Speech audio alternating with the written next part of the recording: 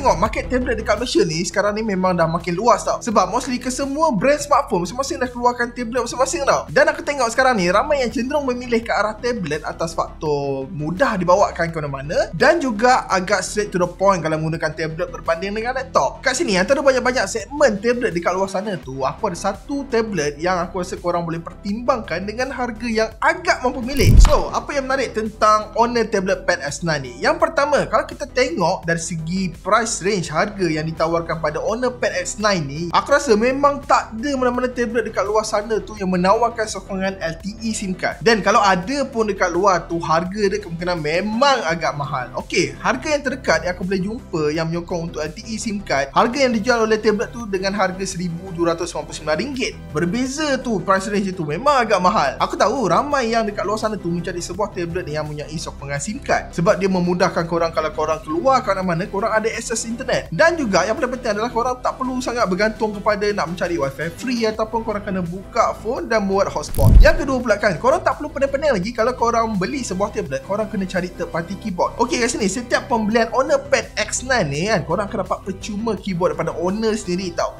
Bukan keyboard third party dan bukan juga keyboard yang korang tak pernah dengar langsung dia punya nama brand tu. So kat sini, dia macam nak memudahkan untuk korang. Kalau korang ni seorang yang jenis yang buat tablet ni sebagai untuk productivity macam menaip ke atau jenis browser suka komen-komen guna keyboard dan cara nak connect keyboard ni dengan tablet ni pun senang korang just turn on je button bluetooth dekat bahagian tepi ni dan tablet ni dia akan terus detect keyboard ni dan terus boleh guna just plug and play yang ketiga pula kalau korang tahu untuk Honor Pad S9 ni dia mempunyai 6 tetapan speaker tau secara kasar dia dia ada 3 stereo speaker. Dan juga mempunyai ciri Honor Hisense Sound. Ok kalau kita tengok mana-mana high end tablet yang harga 5-6 ribu dekat luar sana tu kebanyakannya tablet tu hanya menyokong 2 stereo speaker iaitu 4 speaker je. Tetapi tablet ni kita ada 6 speaker. So bila ada 6 speaker bila korang layan movie ataupun dengar lagu so pengalaman tu akan lebih imersif dan juga sound yang dihasilkan tu memang agak lantang. So kat sini barulah syok tengok movie kan? Ok point yang terakhir untuk Honor Pad S9 ni didatangkan side screen yang bersaiz 11.5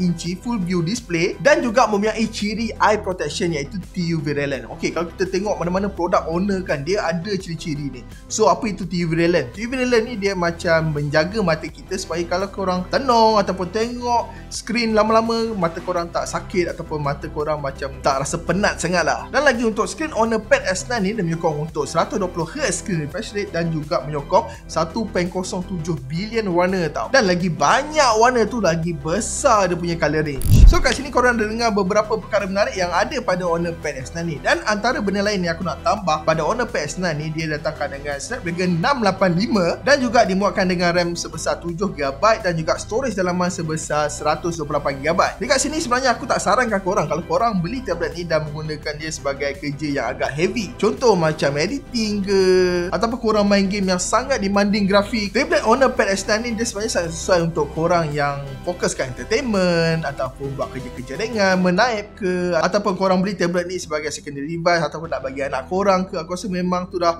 sweet spot sangat untuk korang alright so itu je korang dengar aku membebel ataupun racun korang untuk Honor Pad S9 ni so sekali lagi aku nak mention dia punya harga untuk Honor Pad S9 ni dia berharga RM1,099 dan korang akan dapat free keyboard. Korang tak perlu tambah duit 100, 200 lah. Memang kalau korang beli, korang akan dapat keyboard sekali free. Dan macam biasa, link aku akan sediakan dekat bawah. Yang mana kalau korang tekan link tu, dia terus direct kalau korang nak beli. Dan macam biasa guys, aku akan jumpa korang untuk next video. Dan bye-bye guys.